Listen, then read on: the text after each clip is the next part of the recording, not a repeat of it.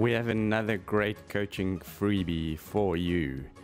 On this single page website, you can have a quick squiz. I'm going down the page, there's a little link out to go to a contact form or to go to another page. Then we've got a video that you can put in the background there. Scroll further down, some number counters that are built into Divi and then some other coaches which might be relevant and then a start today button call to action. So how do you install this one?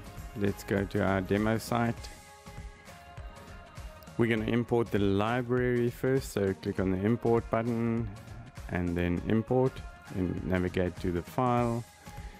Uh, those will be the ones that you've downloaded. There's two options. There's a library import and then the coach page import. So we're just going to do the library import in this case. Hit the import button there, wait for it to reload, and then we can go and install it on a page. So you would then go to pages. I've got a test page already set up over here, and then you can load from library, navigate. There you can see executive coach library import.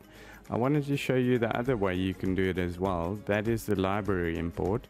In this case, we're going to use a page import. You can see here, it's another option.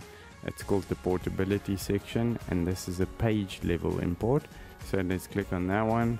Let's go and choose the file. And in this case, we're going to use the executive coach page import. So this is just a different method of doing the same thing. Let's hit the import button and then wait for that to import.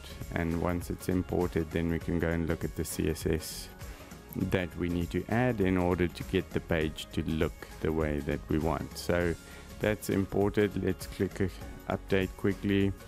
And then let's uh, review the page in a new tab. There we go. So we're missing some CSS over here. So let's go and uh, grab that quickly you want to go back to the same file as before.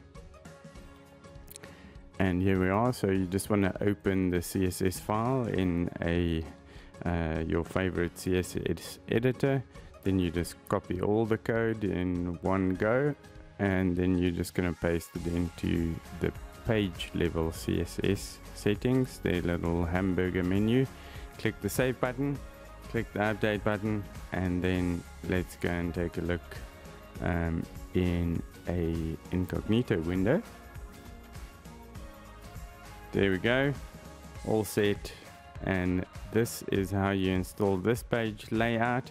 Now you can go in uh, to Divi on the back end and you can update the text you can update the colors and do whatever you need to do I hope this one makes a little bit of money for you Thanks for downloading our freebies.